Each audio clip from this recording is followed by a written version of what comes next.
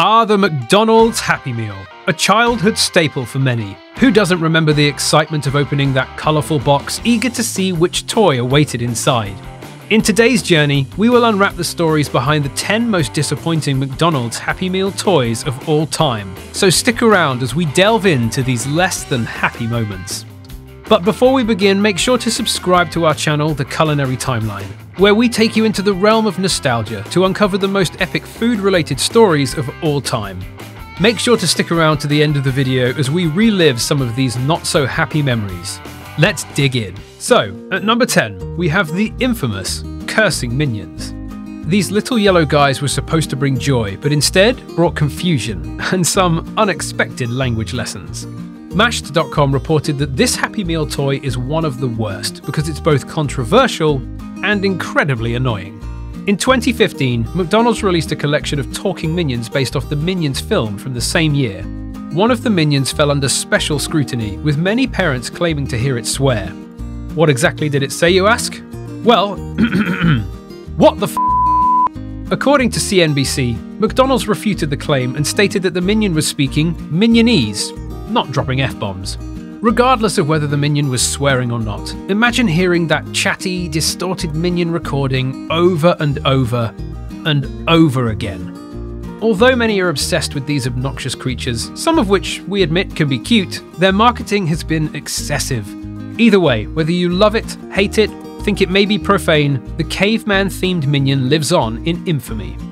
Regardless of what the toy was saying, it was later removed from the Happy Meal selection. Coming in at number 9 are the McDonald's Little Gardener Tools.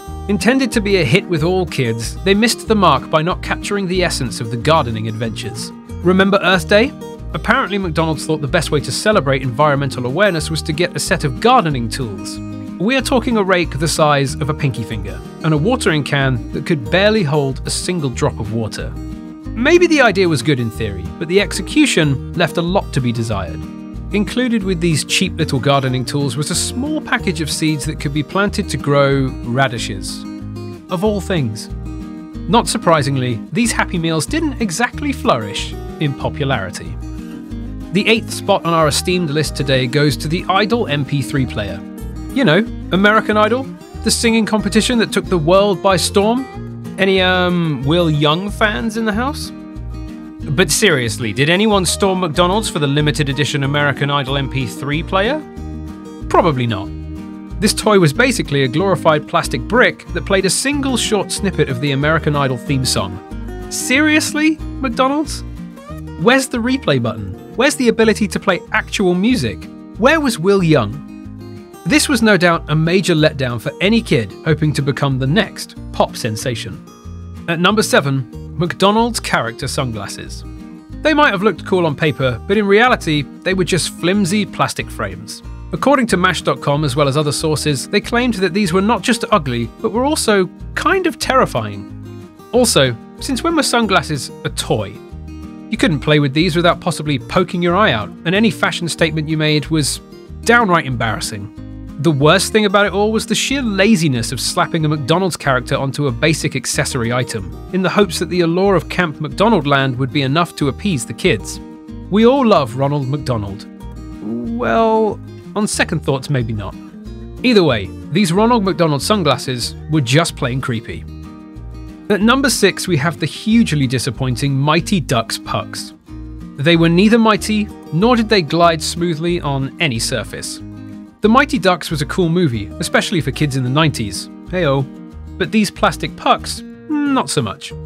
They were basically glorified hockey pucks, small, hard, and frankly, not very imaginative. Sure, you could maybe slide them around the floor for a few minutes, but then what? They also weren't particularly durable, and let's be honest, most Happy Meal toys weren't explicitly built for high impact sports. We have it on good authority that Gretzky would be ashamed. Halfway through at number 5, the toothbrush and toothpaste set. Because nothing says fun like dental hygiene. McDonald's had the interesting idea to forego Happy Meal toys for a toothbrush and toothpaste. Sure, brushing is important and all that, and dentists were probably happy. But we can only imagine the endless looks of disappointment on children's faces, followed by the same looks on parents' faces when they realise they have to find an alternative form of entertainment during the meal on top of managing their child's disappointment. The Happy Meal is supposed to make children happy. Leave the boring stuff to the parents. Please? Number 4 brings us the Zizzle IZ. This bizarre toy left many wondering what exactly does it do? As a kid, Zizzle toys were a goldmine, but looking back as an adult, it becomes painfully obvious why they are for kids. The Zizzle electronic musical toys had various features from brief individual musical numbers to light up noses and twisting limbs. Kids went to McDonald's for a Zizzle, and they kept going back to collect more. Listening to the recordings now, it's clear why parents avoided McDonald's during the Zizzle era. The low quality pre recorded tracks are full of static and sharp, repetitive noises. That's right, you heard me repetitive noises. Recognised for its ambiguous figure, the IZ were one of the more memorable fast food toys for its ambiguous function. The third of the most disappointing toys, the shameful bronze medal if you will, were the incomplete puzzles. Promising fun and interactivity, kids mostly just became confused and more puzzled by having incomplete pieces and trying to complete sets with missing pieces.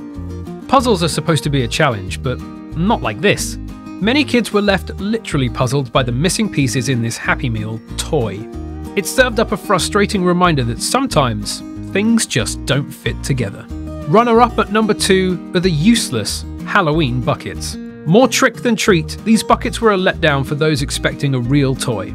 Apparently, McDonald's sees something valuable in offering buckets around Halloween. From a practical standpoint, these could be somewhat useful when trick or treating, but it's not like they provided any fun. And even in terms of practicality, you essentially had a whopping one day out of the year where you could get real use out of these lame monster faced buckets. But after that, they tended to simply collect dust as they were stored away in your spooky basement or creepy attic. Your choice. And finally, the number one spot on this Hall of Shame, the most disappointing, worst of all time is the Michael Jordan Fitness Fun. They promised the craze, but delivered a circle of disappointment. Michael Jordan, a legend we all admire, of course, but these tiny plastic weights shaped like basketballs, not so legendary. Well, the idea of promoting fitness to kids is great, but these miniature weights were more likely to break a fingernail than inspire a love of exercise. They were just too small and too flimsy to be truly engaging. This collection came with a small football, basketball, and baseball, all of which deflated easily. It also came with a jump rope way too small for most kids. Probably the worst of all, though, was the 30 second stopwatch that didn't even work half of the time. So there you have it, foodies. The 10 most disappointing McDonald's Happy Meal toys of all time. What a whopper of a list. Whoops, wrong franchise. Did anything on our list bring back some treasured memories for any of you? Let us know in the comments below. And don't worry, Despite these disappointments, we all know there are plenty of other Happy Meal toys out there waiting to bring joy to kids everywhere. However, these infamous and disappointing Happy Meal toys left a bad impact for sure. But hey, bright side, it makes for an entertaining YouTube video. Thanks for watching. If you enjoyed this video, be sure to give it a thumbs up and make sure to check out our playlist for more amazing content for you all. Don't forget to like, subscribe, and ring that bell for more nostalgic trips down memory lane. And remember, sometimes the anticipation is better than the toy itself. Until next time, my friends, keep those meals happy, keep the Szechuan sauce coming, and crank up the Will Young. And we'll see you at McDonald's.